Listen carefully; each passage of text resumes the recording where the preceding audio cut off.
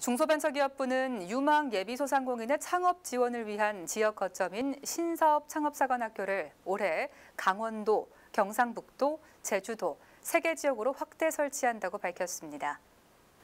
신사업 창업사관학교는 소상공인의 창업교육과 체험, 실습 등을 위한 물리적인 공간을 기반으로 유망한 창업 아이디어와 아이템 등을 보유한 예비 소상공인을 발굴해 창업교육, 실전 창업 전 점포 운영 실습, 창업 자금 등을 단계적으로 지원하는 프로그램입니다. 선정된 각 지역에서 사관학교를 활용한 소상공인 창업 활성화 방안으로 제안한 주요 협업 계획은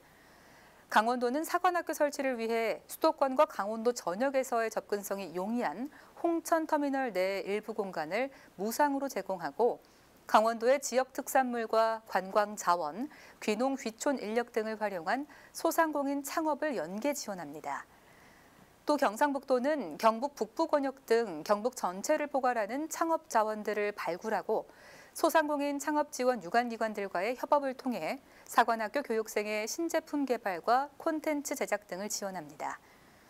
마지막으로 제주도는 다수의 소상공인 창업 지원 유관기관들과 함께 사관학교 우수 졸업생이 생산한 제품에 대해 제주 우수 제품 품질 인증 제도 인증 등을 부여함으로써 사관학교 교육생의 창업 활동과 온 오프라인 판로 확장 등을 지원합니다.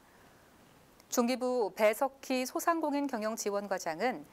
2022년까지 전국 17개 지역으로 신사업 창업 사관학교를 확대할 수 있도록 해 지역별 창업 거점 구축을 완료하고 사관학교가 지역의 특성과 고유 가치 등을 기반으로 창업을 희망하는 유망한 소상공인들에게 이들을 위한 지역의 다양한 창업 자원들을 연결해주는 구심점 역할을 할 수 있도록 노력하겠다고 말했습니다.